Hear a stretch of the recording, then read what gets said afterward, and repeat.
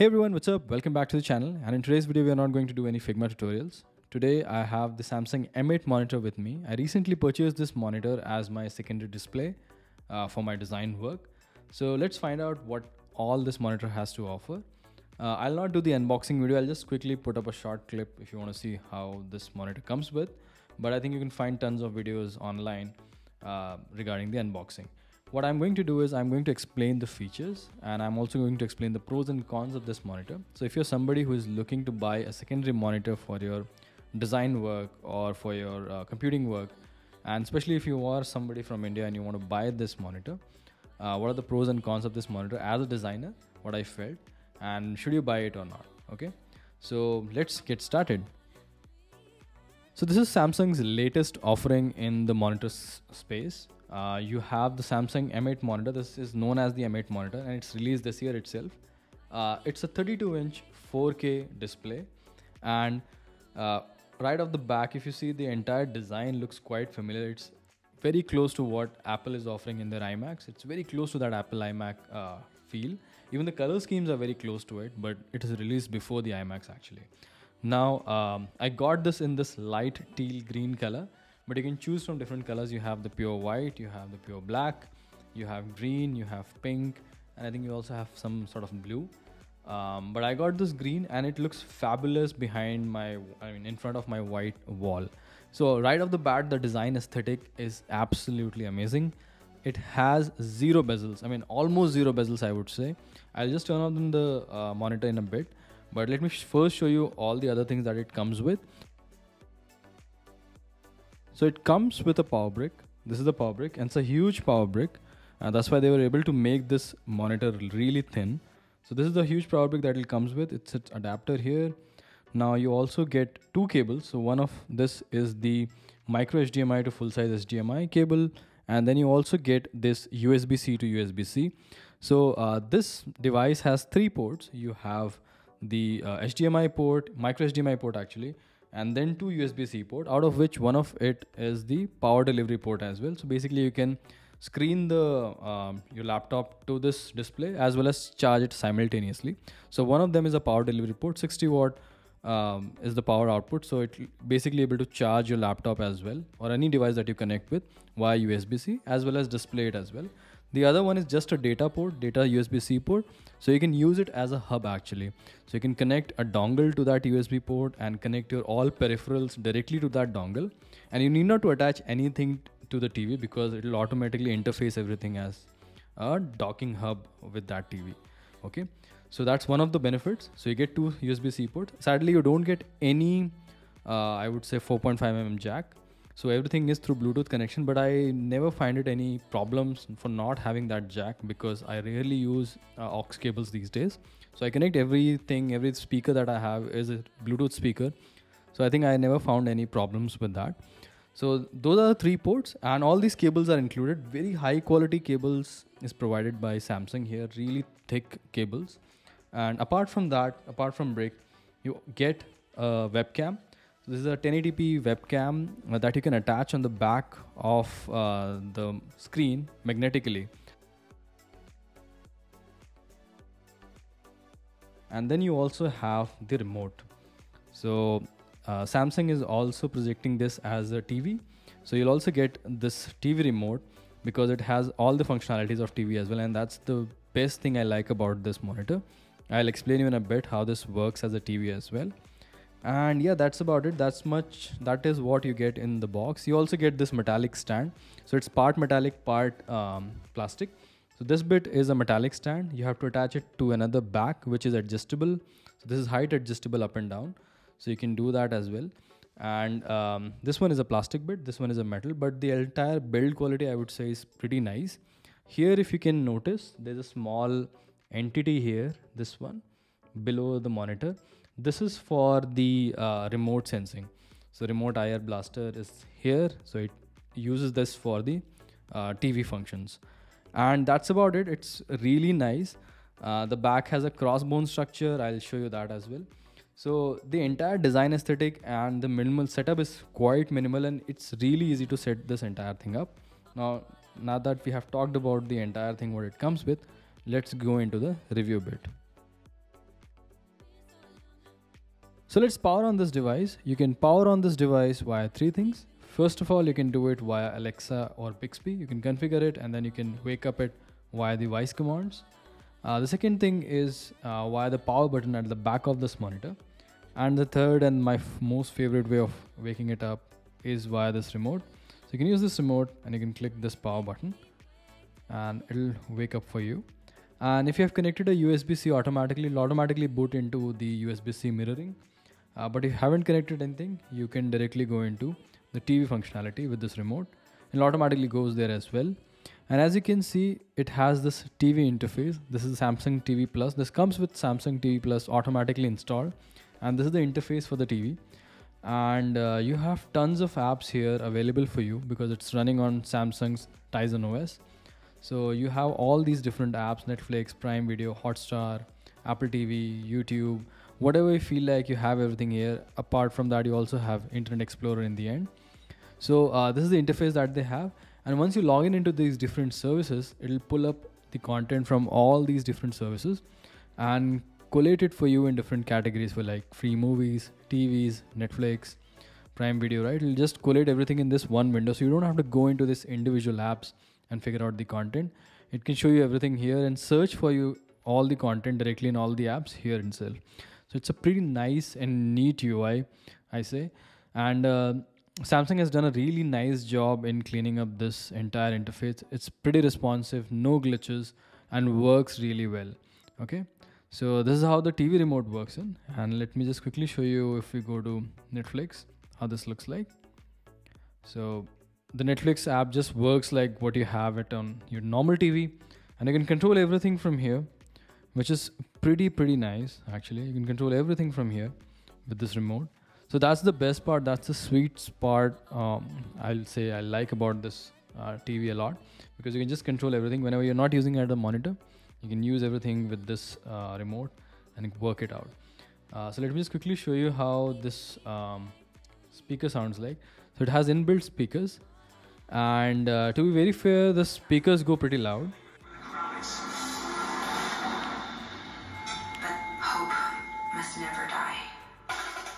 So the speakers go pretty loud actually in this monitor. Uh, but the thing is at higher sounds it gets a little tinny and it lacks bass, any bass whatsoever because it's a very slim monitor so obviously you cannot pack in so much of a bass on this thin monitor. But uh, you have the speakers anyway with you. So if you want to watch it with speakers, you do it.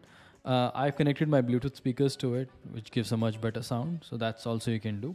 But yeah, um, this is the picture quality. Since it's a 4K display and at a TV viewing angle, this looks absolutely amazing. So um, yeah, I really love this entire functionality. Okay, um, let's go back to other functions of this entire monitor. So you also get Samsung TV Plus, as I said, uh, which gives you free uh, TV uh, selections. So you can get a lot of these uh, news channels and other channels for free included in the Samsung TV Plus subscription. So that's what you're also getting with this TV. I'll quickly show you the settings on the left. So this was the media settings. Now you can also go to workspace settings and in the workspace settings shows you a couple of options. So it connects to your local uh, network and then you can connect your Windows PC, your Mac or your Samsung DeX. So basically if you have a Samsung phone, you can connect this monitor to your Samsung phone and it'll convert it into a um, working desktop, which they call it as Samsung DeX you have a lot of Samsung 365 services as well, which is uh, Microsoft 365, sorry, which is already included in this entire monitor. And you can run a lot of things from here. You can directly log into your browser and you can also do a lot of uh, browser stuff from here. Okay. And uh, let me just go back. Okay. So you can do a lot of things here. And one quick thing about this is you can connect your uh, keyboard and your mouse directly to the monitor you don't have to do any like devices in between as a peripheral. You can just connect these two directly to your monitor and you can run browsers and all directly gmail everything directly into the monitor. So you don't need a computer directly. And if you want to just run a quick emergency emails or something like that you can do it from the monitor. That's one more thing i like.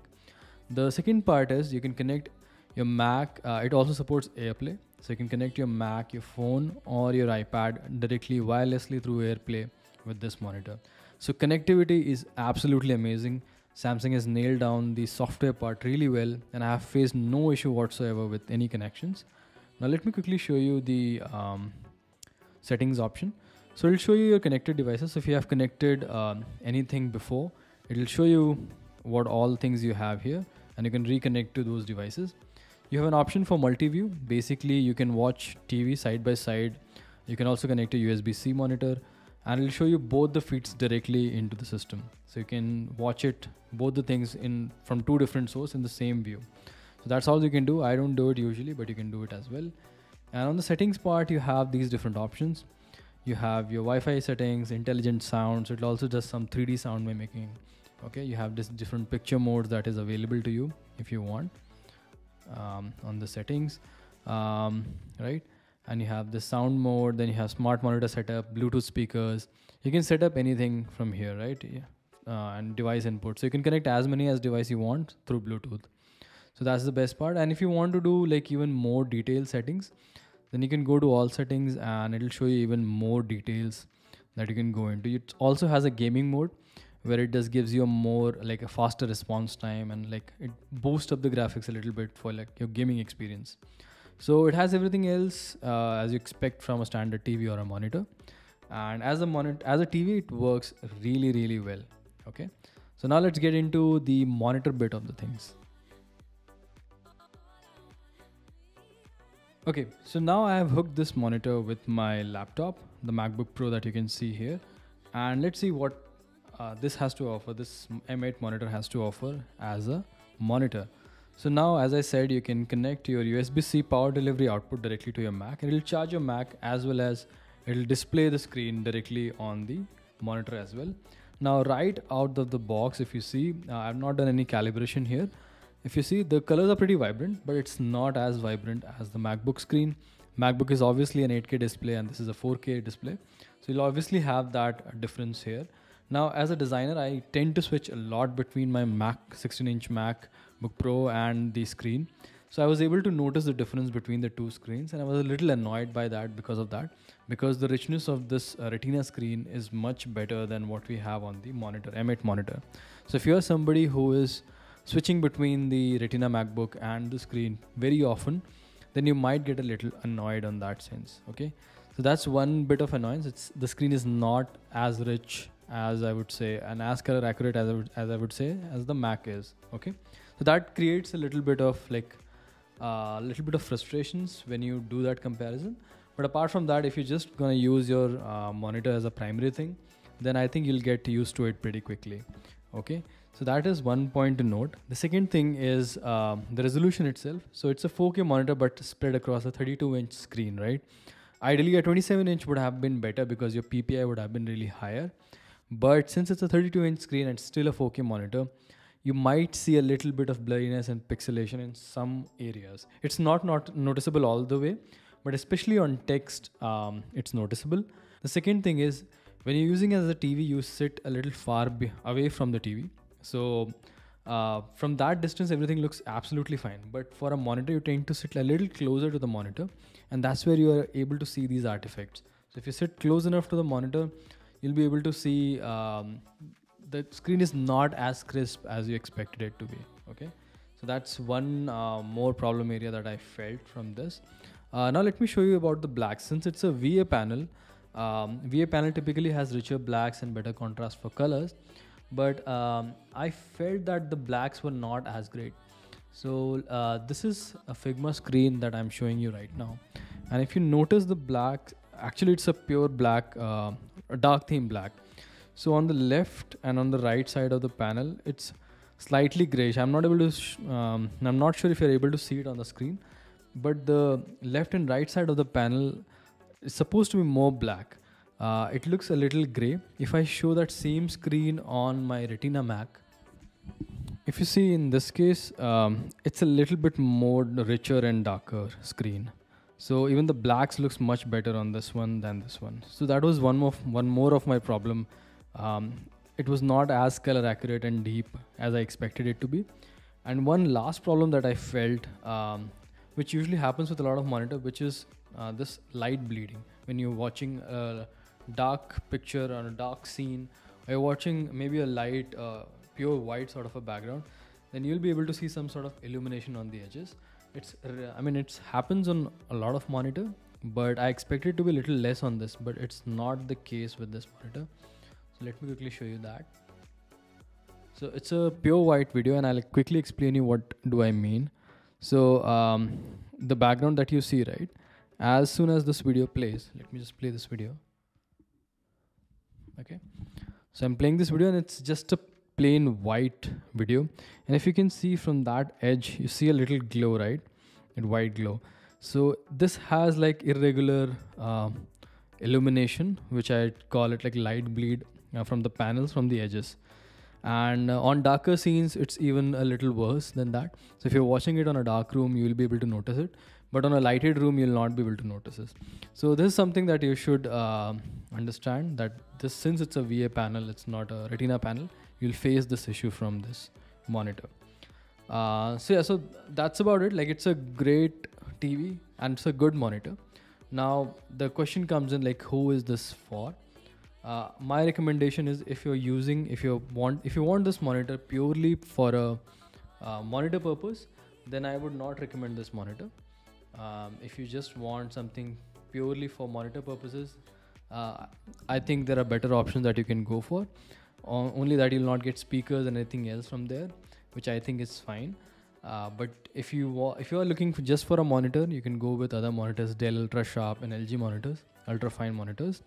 If you're looking for something which is like a mixed use case like uh, in my case i wanted something uh, which can be uh, dualed as a tv as well because i don't watch tv that much and i wanted only for sometimes and I didn't want to invest much in TV. So I wanted this monitor because it also has this awesome TV functionality. So for my case, it worked out well because I wanted a monitor as well as a TV. Uh, but in your case, if you want just a TV, then you can go for a regular TV. And if you want just a monitor, go for a regular monitor. But in case you want something which can be dual as a monitor and you don't want to spend extra, then this is a good option uh, for that specific use case. Apart from that, I don't find any other hiccups on this monitor, just that the quality of panel could have been a little better. Uh, and this monitor size could have been a little smaller, let's say 27, 28 inches. Then the pixel density would have been a little higher. So that's my review for it. Uh, if you find my review interesting and you want to see more videos, such videos like that, do let me know in the comments. And I'll be putting up more videos, more tech videos as well from the perspective of a UX designer. So I hope this find, I mean, I hope you find this video well and let's meet in our next video. Take care. Bye bye.